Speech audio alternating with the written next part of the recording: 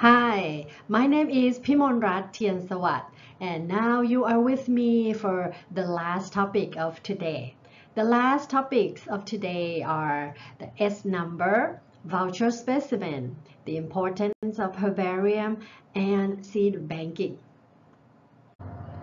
At the beginning of restoration projects, it is common that we do not know all of the tree species name that you will work with.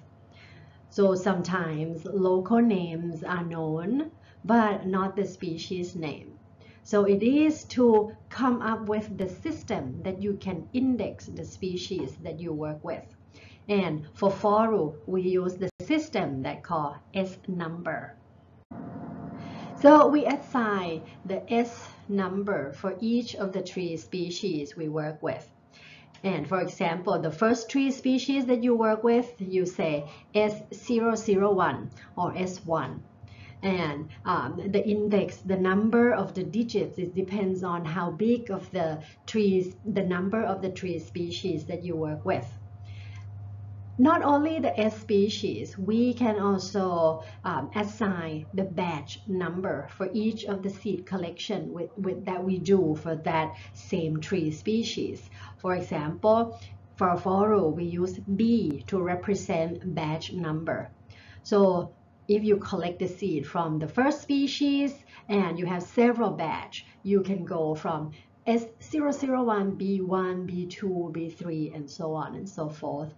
So those S number that we assign to the species will match the tree species, the local name, and also the species name.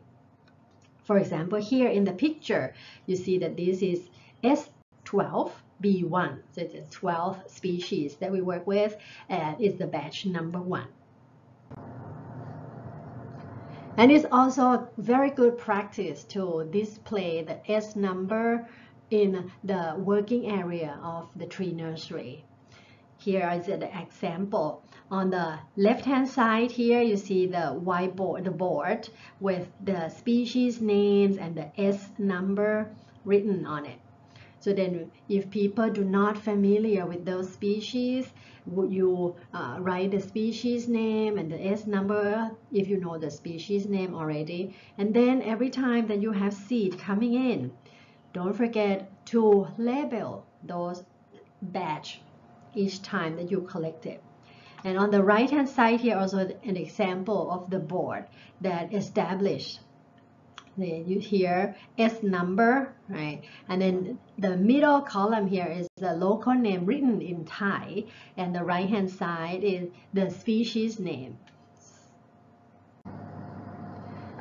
Using number is more easily remembered in comparison to long scientific species name.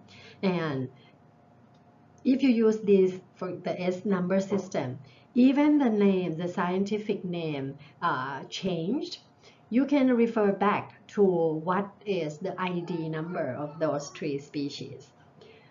And also, when we do germination test, it's really, really good practice to write down the number, the species number, the S number, and also batch number. As you can see in the picture here, in the germination, on the germination tray, we put the label of the S number and batch number. I would like to emphasize that make sure that you always match the species numbers with scientific names because local names are unreliable. And if we do not know the spe species scientific name of the species at the beginning, we can have someone else helping us. However, we need voucher specimen for species, species identification. And for the trees that we work with, we can collect leaves, fruit, and flowers if possible, and then we make it into a voucher specimen. In this picture, we use the cutting pole, long cutting pole, to get the leaves and the fruit specimen. And remember that if we cannot verify the species or uh, the material that we have will not be useful. Uh, we have to make sure that we work with the right species. So here is an example of uh, making voucher specimen in the field. The picture on top here, on the top right here, um, show you the material that we need for voucher specimen. So we can have a paper, like a newspaper paper, and also we have the uh, wooden board that we use to press and stack the sample together. Here we have a small scissor for cutting and trimming the seed, uh, the leaves that we collected. So we get the big branch and then we trim them and make sure to keep the essential features. The essential features here it's been that um, how the leaf arranged on the branch or some other like stipules that you see from the um, from the leaves from the plant specimen. And also in the picture on the right, right hand side, bottom right here, you see that when we press, when we press the leaf specimen on um, the board, we should also have the leaf facing up and facing down as well. Uh, and we also, if you get fruit and flower, that will be really helpful in species identification. After you collect the plant materials for voucher specimen in the field, you will stack them up and then tie it with the rope. And then after you come back to the tree nursery or to your lab, make sure to dry them. Make sure to dry them. And here is an example of a very simple, very simple um, drying box that we can use. So we need a heat source, and here heat source is on the bottom we use the light bulb as the heat source. And then we make a shelf in this drying box to be able to put the stack of the plant specimen on and then has the lid on top. And the lid on top should have the ventilation should have the hole for ventilation. So the moisture from the plant specimen can um, get out from this drying box. And when you collect the plant specimen in the field, record the um, or describe the species that you work with.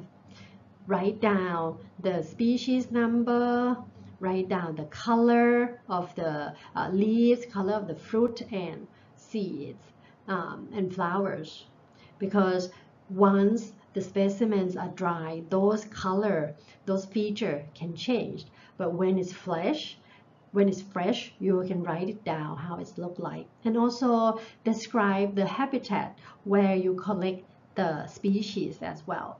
And here is the example of the label of the specimen.